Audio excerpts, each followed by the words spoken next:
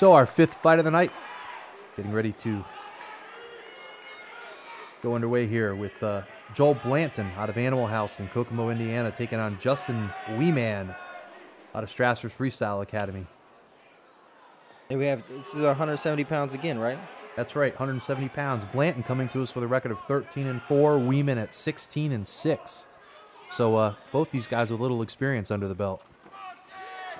Yeah, this is definitely an evenly matched fight. I'd say I've seen both these guys fight, and they come to bang. You know, they they're gonna fight hard. They're gonna fight fast.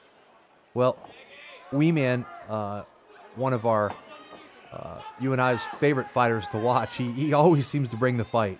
Uh, most definitely, most definitely. He comes and, and is not afraid to fight. He'll he'll strike, he'll grapple, he'll do whatever he needs to do.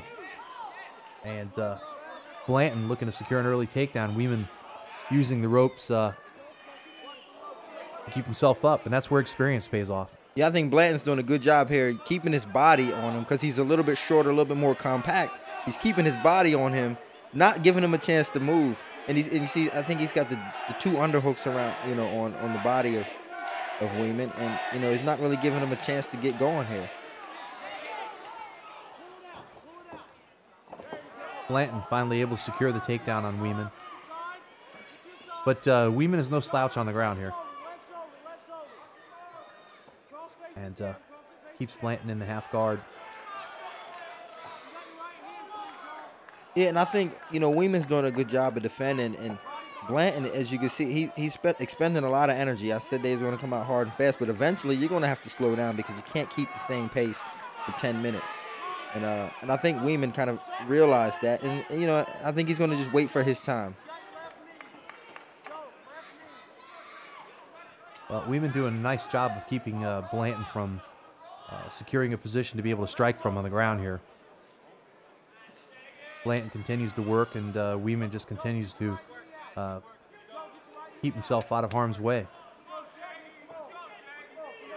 Yeah, it seems that's what it seems. I think maybe that's his strategy. Just wait, wait, wait, wait for your time. But the problem with that, I mean, that's a good strategy. But the problem with that is you can't wait too long because what if a guy never does tire? Right.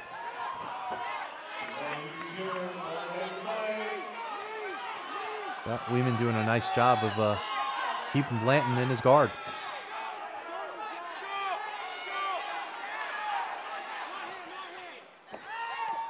It's a lot of action going on here. A lot of action. Look at these. Look at these guys. Just, just punching like. it's an active ground yeah. fight.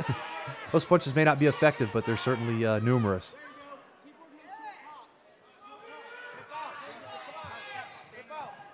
Yeah, they were just punching like there was nothing else to do.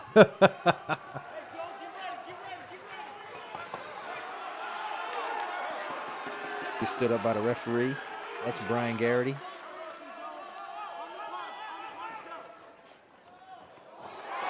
That was a, a really sloppy. Uh, uh, Wieman connected with that right hand. He made Blanton pay for that, actually. Yes, he did. The combination. Kind of surprising. Blanton better be careful. He's throwing a lot of wild punches and leaving himself open. He's well, got to be careful. he's at careful. a significant reach disadvantage here as well. But uh, so far, he's he's held his own. Wieman with a knee to the head that looked to uh, land.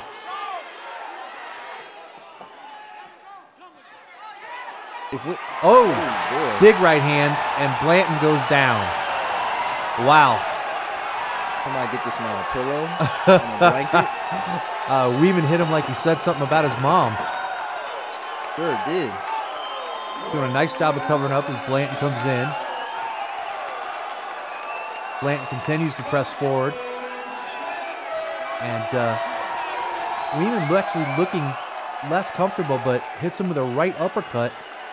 And, and uh, it, it, was a short right uppercut. It too. really was. It just didn't look have a lot behind it. You know, it's sometimes it's not about you know all the power and these big wild punches. It's just placing that punch in the right spot. So Justin Wieman victorious via knockout over Joel Blanton.